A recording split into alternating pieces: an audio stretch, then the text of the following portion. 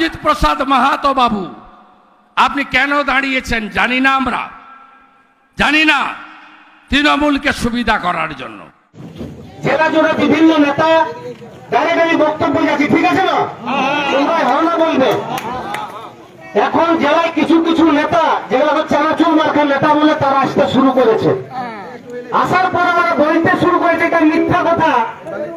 যে কুর্মী সমাজের প্রার্থী আমি সেই সমস্ত নেতারাকে বলে দিচ্ছি কিছুক্ষণ আগে বিরোধী দলনেতা শুভেন্দু অধিকারী, কুর্মী সমাজের নেতা অজিত মাহাতো দাঁড়ান যে কুর্মী সমাজ থেকে এবং ভোট কাটতে। তাকে এখান থেকে আমি চরম হুঁশিয়ার দিতে চাইছি। অজিত প্রসাদ মাহাতো আদিবাসী কুর্মী সমাজের একক। এই যে একক প্রার্থী বলছে, সেটা কিন্তু নয়।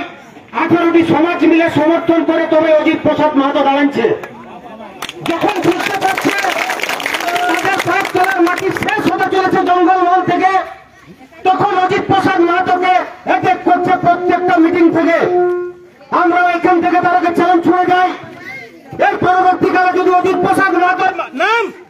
মুখে আনবেন জঙ্গলমহলকে বাধ্য করবেন নাই আমরা আপনাকে জঙ্গলমহল থেকে বর্জিত করার জন্য ডাক দিব এবং জঙ্গলমহল ঢুকতে কোন রকমে দিব নাই যদি আমাদের জনগণের নামকে খালি মুক্ত করার চেষ্টা করো আজকে তার প্রমাণ দিচ্ছে যে অজিত প্রসাদ মাহাতো শুধুমাত্র আদিবাসী কর্মী সমাজের নেতা নয়। যখন পুরুলিয়া বাইরে থেকে চাকরি ঢুকে তখন অজিত প্রসাদ মাহাতো বুক চিপিয়ে দাঁড়ায় বলে সেখানে যে অন্য জেলার ছেলেকে চাকরি করতে দিব নাই। তো আমি বলতে চাই, জঙ্গল মহলের মানুষকে যে সেইখানে কি শুধু কুর্মী ছেলেরা চাকরি পায়? না বন্ধু, কুর্মী ছেলেরা শুধু চাকরি পায় নাই, সেখানে সমস্ত সমাজের ছেলেরা চাকরির জন্য দাঁড়ায়। সেই সময় যে সমস্ত শিক্ষিত বেকার চাকরি প্রার্থীরা আছে, তারা কিন্তু সেইখানে বলে যে, অজিত প্রসাদ মাহাতো আমাদের নেতা, সে আজকে আমাদের মনের কথা বলছে। সে কিন্তু বলে নাই যে, কর্মী নেতা। সমস্ত সমাজের লোক। যখন বালির রেট বাড়ানো হয়, তখন যখন আওয়াজ তুলে তখন কিন্তু সমস্ত মানুষ বালির কাজে নিত্য প্রয়োজনীয় কাজ, চার হাজার পাঁচ হাজার টাকা দিতে খুঁজে। তখন যখন অসুবিধা হয়, তখন অজিত প্রসাদ মাহাতো যখন আওয়াজ তুলে, তখন সমস্ত জেলাবাসী জঙ্গলমহলবাসী বলে যে, আমাদের নেতা অজিত প্রসাদ মাহাতো। তখন কিন্তু কুর্মী নেতা কেউ বলে নাই। সেই বাড়িটা শুধু কুর্মীদের দরকার বলে নাই। যখন চাষিরা চাষ করে, চাষ করার পর, যখন তারা ধান বিক্রি করতে যায়, যখন ধান অনেকটা কাটে তখন অজিত প্রসাদ মাহাতো আন্দোলন করে, সেই আন্দোলনের যে সরকারকে বাধ্য করে যে এখান থেকে ধান কাটা চলবে না যেটা অর্জন করে চাষিদের ঘাম পশিনার জেলা ন্যায্য কামায় তখন কিন্তু সরকার বাধ্য হয় সেই কাটিংটাকে বাদ দিতে। তখন কিন্তু অজিত প্রসাদ মাহাতো শুধু কর্মী সমাজ নিয়ে বলে নাই সেই ধান চাষ কিন্তু সমস্ত সমাজের লোক করে। সারের যখন দাম বাড়ে সেই সারটা শুধু কর্মীদের একাই করে নাই। আমরাও করি সবাই মিলে, সেই জন্য সবার নেতা, জননেতা অজিত প্রসাদ মাহাতো শুধুমাত্র পূর্বী সমাজের নেতা নয়, অজিত প্রসাদ মাহাতো আমাদের নেতা। ঠিক বলছি কি নাই? যদি কোনো ভুল করে থাকি, তাহলে আমাকে সঙ্গে সঙ্গে আপনারা টোপ দিবেন। কিছু নেতা ভোটের সময় আসবে বিভিন্ন রকমের প্রলোভন দিতে। কেউ অমুক ভান্ডার, কেউ অমুক পেনশন, কেউ এইটা করে দিব, কেউ ওইটা করে দিব। বলে তো? তার দু লাইনের একটা কাহিনী বলছি, শুনে নাও। একটা জঙ্গলে বাঘ ছিল। বাঘ ভোটে দাঁড়ান ছিল। দাঁড়ায় নিয়ে ভেড়িদের পাড়ায় গেলছে। আচ্ছা এ বলছে যে এইবারে শীতটা দমে পড়েছে বাবুরা। তোরাকে ভোটে আমরাকে জিতা, তোরাকে একটা করে কম্বল দিব। বিরাট হাততালি মারছে ভেড়িগুলো সবাই। বুঝে না ভাই, বিরাট দিচ্ছে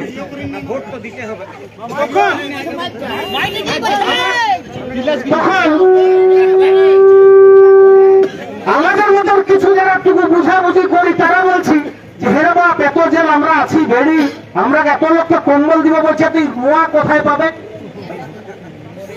তখন সবাই বুঝতে পারলে, ওরে, আমাদের রোয়া গুলাকে ফুদকে নিয়ে কম্বল বানাই হামরাকে দিবে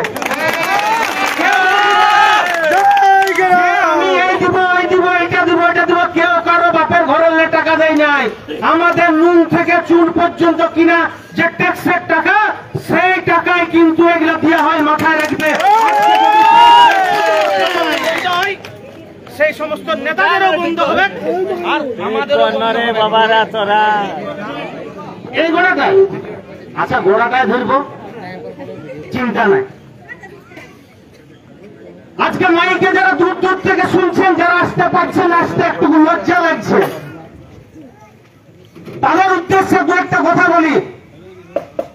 আমি এখানে গ্যারান্টি দিয়ে যাচ্ছি একদম, এটা মোদি গ্যারান্টি না, এটা আমাদের জঙ্গল মহলের গ্যারান্টি আপনারা যারা দূর থেকে শুনছেন, আর জঙ্গল মহল যে আজকে বঞ্চনার শিকার আছে, জল জঙ্গল জমি, এখান থেকে যে সমস্ত আমাদের পদার্থ আছে, খনিজ সম্পদ আছে, পাথর থেকে বালি সমস্ত লুণ্ঠন করে চলে যাচ্ছে তাও আপনারা সেই সমস্ত দলের সাগর আছেন, তাদের সাপোর্টে আছেন। আপনাদের উদ্দেশ্যে যে কথাটা বলতে চাইছি, যে আমরা যে আজকে এখানে আছি, অন্যায়ের কথা মাথায় রেখে এইখানে সবাই জমায়েত হয়েছি, আপনাদের কাছে এটা চ্যালেঞ্জ রইল। আজকে আপনাকে আসতে হবে, আজ না হলে কাল আপনাকে আসতে হবে। যখন আপনি ওখানে ধাক্কা খাবেন নরহরিবাবু ধাক্কা খাইছিলেন কদিন আগে? যখন ধাক্কা খাবেন, তখন আমাদের কাছে আসতে হবে কথা দিয়ে যাচ্ছি যদি তাও আসেন, যখন ওখানে জুতো খাবেন, জুতো, তখন আমাদের কাছে আসতে হবে। জমির আওয়াজকে আমাদের নেতা অজিত প্রসাদ মাহাতো তুলেছে। সেই সেই আওয়াজে আওয়াজ আপনাকে মিলাতেই হবে। এখানে কোনো দ্বিমত নাই। বলুন, ঠিক বলছি কি নাই? সর্বশেষ যে বার্তাটা বলে আপনাদের কাছ থেকে বিদায় নিব। অজিত প্রসাদ মাহাতো, যে ছাপটা দাঁড়াচ্ছে সেই ছাপটার নাম বলুন তো। ঘরে ঘরে আপনাদেরকে এই আওয়াজটা তুলতে হবে। আজকে বলছে কুর্মীরা ভোট কাটছে। জঙ্গল মহলের মানুষ ভোট কাটছে। আমরা ভোট কাটতে আসি নাই, আমরা কি কাটতে আসিছি জানেন? আমরা কি কাটতে আসিছি জানেন? বাইরে থেকে যখন চাকরিগুলো পুরুলিয়ায় ঢুকছে, আমরা সেই সমস্ত নামগুলো কাটতে এসেছি। বালির রেট যে খাতাটায় বাড়ানো আছে এইখান থেকে ধানের রেট বাড়ানো আছে সেই রেট বাড়ানোর কাগজটা অজিত প্রসাদ মাহাতো কাটতে আছে। পাশাপাশি এইখানে যখন আমাদের কাড়া লড়াই বন্ধ করে যে কাগজটায় কাগজ পাস করেছিল সেই কাগজটা অজিত প্রসাদ মাহাতো কাটতে এসেছে আর কথা দিয়েছে কাড়া লড়াইকে বন্ধ করতে পারল না এইখানে আপনারা ভোট দিয়ে অজিত প্রসাদ মাহাতোকে জিতান। আপনাদের কাছে কথা দিয়ে যাচ্ছি। আমরা দিল্লির যন্তর মন্ত্রে লেগে কাড়া লড়াই করাবো এটা কথা দিয়ে গেছে এইটা নিয়ে বাবুদের নাকে গন্ধ আসছে, কারার গন্ধ। আসছে না? তো সেই সমস্ত নেতাদের কাছে বলি যে এখন অজিত প্রসাদ মাহাতো, আমাদের বঞ্চিত শোষিত যে সমস্ত যুবক, বেকার শিক্ষক, যারা বেকার শিক্ষা করে এক জায়গায় চাকরিতে জন্য বিভিন্ন জায়গায় ঘুরে ঘুরে বেড়াচ্ছে, সেই সমস্ত যুবকদের জন্য অজিত প্রসাদ মাহাতো আজকে আওয়াজ তুলেছে। সর্বশেষ যে বার্তাটা বলে আমি এখানে ছাড়ছি, আমাদের ভোটে দাঁড়াতে কেন প্রয়োজন পড়ল? আরে ভোট আমাদের, আর লোকগুলো আমাদের জঙ্গল আছে না? আমাদের বেশি কেউ আছে? ভূমিপুত্রদের বেশি? আচ্ছা আমি এখানে কথা দিয়ে দিয়েছি? আমরা ভোট থেকে এখনও বলে দিচ্ছি ভোট নিব না, তবে কিছুগুলো শর্ত আছে। আমাদের মতন একটা রেল টেকা করে দেখান যেত পারবে? দহর টেকা করে দেখান যে।